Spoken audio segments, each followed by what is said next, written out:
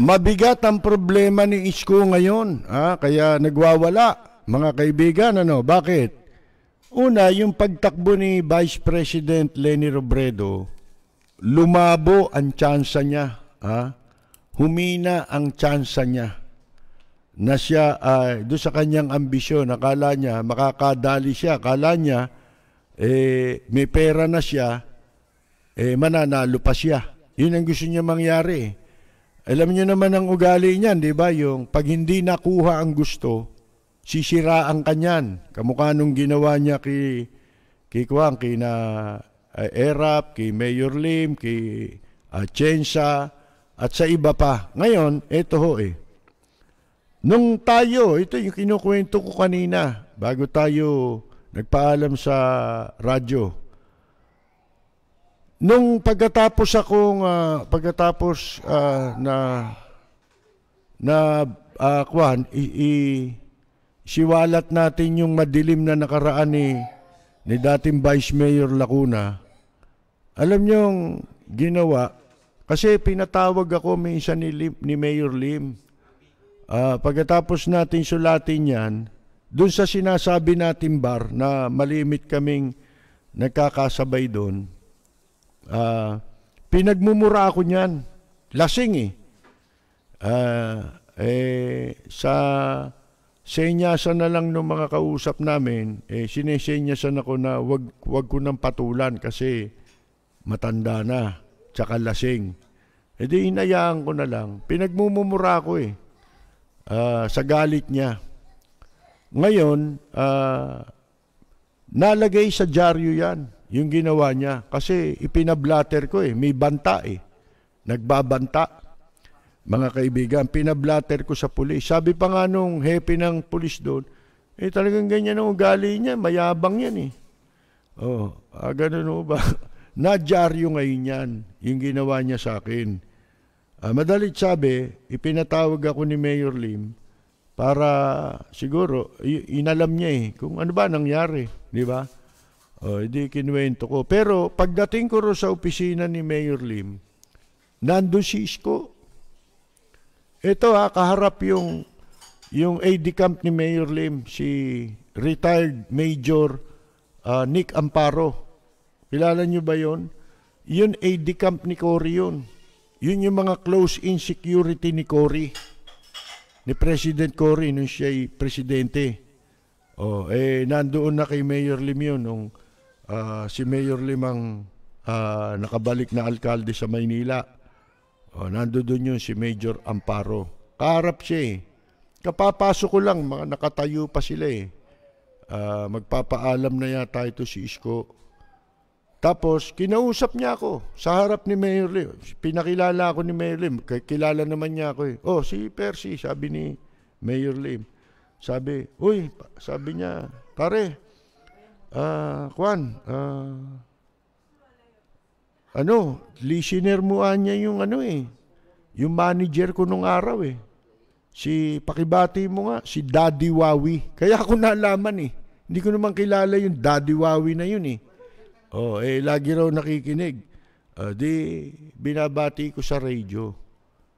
Uh, ngayon, hindi pala ito, ibang okasyon pala ito. Merong occasion na dinimanda ako noon dahil doon sa pagkakasulat ko.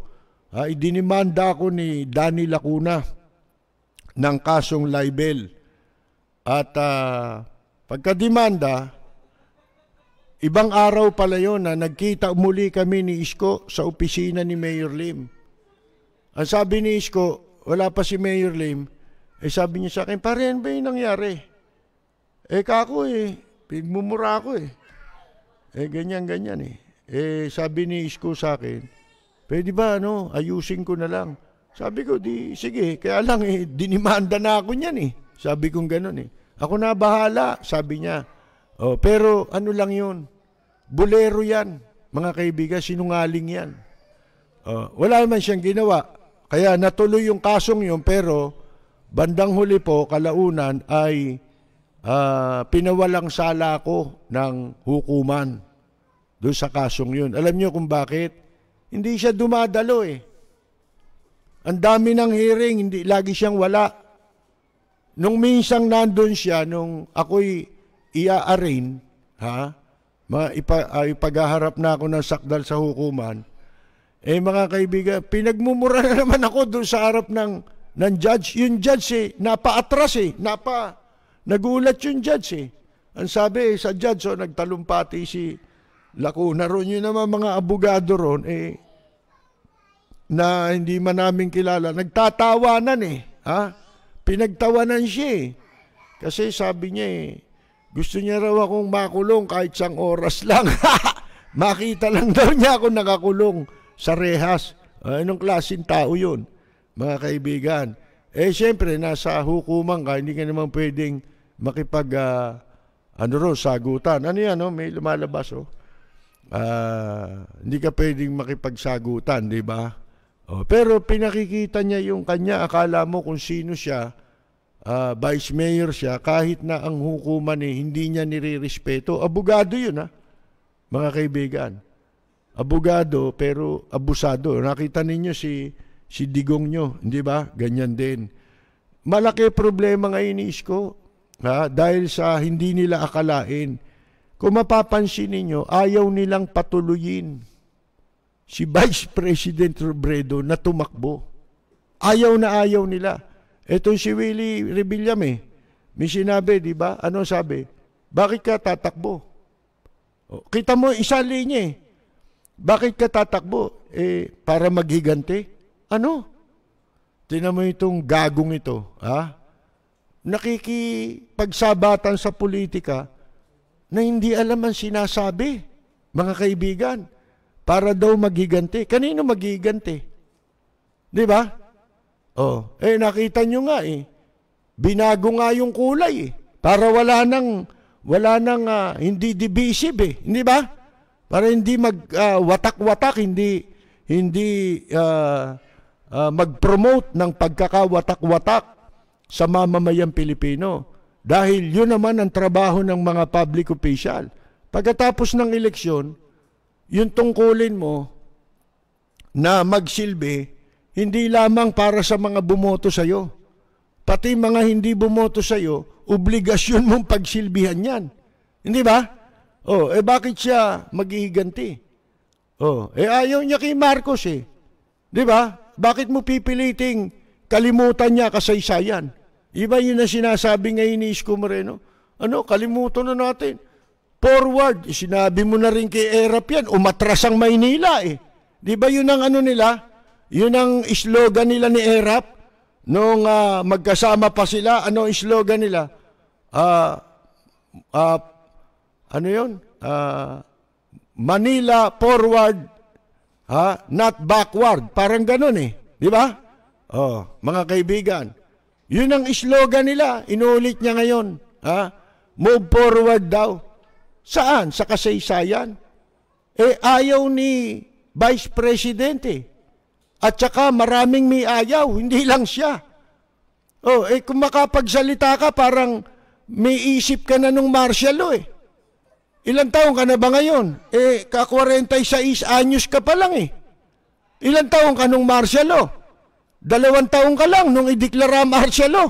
1974 ka pinanganak. Oh, hindi ba? Ano nalalaman mo? Oh, pagpalagay na natin, 74 ka, no? Pinanganak. Ah, hindi. Dalawang taon na pala, Marshall, nung ipanganak siya. Di ba? So, gawin natin 1986. Ilan taon siya? 12 anyos. May isip ka ba nun? Wala pa. Hindi mo pa alam yun eh. Di ba? Hindi mo nga iniintindi yun eh. Hindi mo naman nakalain yun eh. Di ba? Na magkukonsihal ka eh.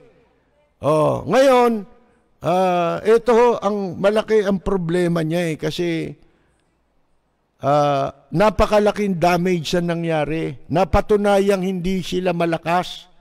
Malakas lang sila sa media. Ha? Sa tao, mahina sila. Oh. Bakit? Napatunayan eh, nung nag-file si Vice President Leni Robredo, nasira yung survey eh. Di ba? Nasira kamada eh. Napatunayan hindi totoong kulelat si si Vice President at bumuhos ang katakot-takot na suporta sa kanya ng tao na natuwa, mga kaibigan, sapagkat uh, hindi nila ang inaasahan ng iba na inip, di ba? Bata niya huli. Eh lahat na nagtatanong sa akin niya, sinasabi ko, ba't ka naman maiinip? Eh, ang filing ng Certificate of Candidacy hanggang August 8 pa nga eh. Di ba? Oh. Pero hindi pa tapos yan. Maniwala kayo sa akin. Ah, ang pinaplano talaga nila dyan, masiguro nilang hindi mananalo si Vice President Leni Robredo. Eh, si, bakit ka matatakot? Di ba? Bakit ka matatakot? Kung maging presidente si Vice President Leni Robredo, eh matatakot, may kasalanan ka. Di ba? Oh. At saka, nabayaran ka ngayon, di ba? Nabayaran kayo ngayon, kaya kayo natatakot, di ba? Kasi, yun ang magiging papel ninyo, yung siraan, kapalit ng ibinayad sa inyo, di ba? Para magsilbing, uh, ika nga eh, Manchurian candidate. Oh, magsisilbi kayo sa interes ng nagpatakbo sa inyo. Kay manalo kayo, kay matalo kayo. Ha? Hindi naman importante sapagkat ina-assure kayo bukod sa pera, bibigyan kayo ng pwesto. Preno kung bumatikos, malalim at makatwirang komentaryo. Mag-ingat ang mga politikong gumagawa ng kalokohan at baka kayo ay tamaan ng Lapid Fire! Kaya ano ho eh, mga kaibigan eh, makikita ninyo orchestrated ito, yung mga salita nila Willie Revillame na yan, nito si Isko Moreno, talagang yan ang plano, nakaplano yan. So, ang pinakapanlaban dyan, wala naman silang maisisira eh. Ang ipipintas nila yan, politika. Eh, hindi naman politiko si Lenin katulad ninyong, ano eh, yung uh, namumuliti ka lang, di ba? Iba yung politiko sa namumuliti ka, di ba? Kayo ang namumuliti ka. Oh, dahil si Lenny Robredo, eh, kahit politiko siya ngayon, hindi siya namumuliti ka.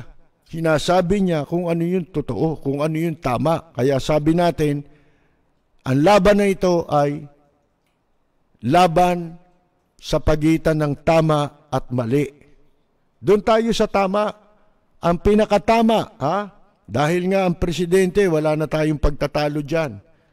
Wala tayong pwedeng uh, uh, maitapat pagdating sa track record kay Vice President Leni Robredo. Kaya pilit nilang uh, hinahadlangan na manalo. Yung nga pagtakbo, eh, hinahadlangan nila eh. Di ba? Oh. Kaya napakatagal, urong sulong kunyari, planado yan. Yung mga pagpapay... Uh, si ano nga pala, si Roy, ha? Uh, Japan Tour. O, pagpupunta kayo ng Japan, ha? Doon. Uh, tawagan nyo si Roy, Japan Tour, mga kaibigan. Uh, ilabas mo nga ulit sa isang araw yung ano dyan, yung number, di ba? Roy Japan Tour, yung gano'n, no?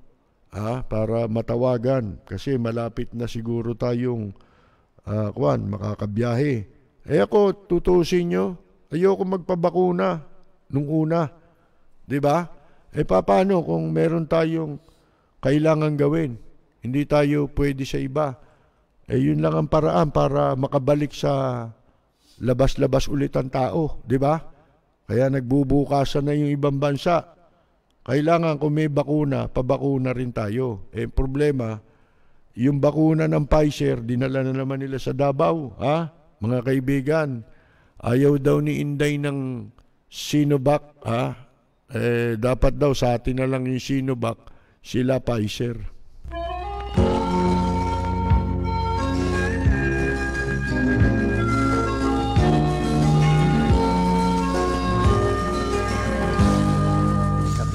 Ko ay isa ang lahi. Dito'y wala ang pagkukunwari. Hindi hindi padagay Sadyang kilala sa daigdig. May pagkakaisa sa bawat nais. Dito Ito po si Percy Lapid. At kami pantay-pantay. Maraming salamat at magandang gabi, Boy Hustler! Bayan ko, dito'y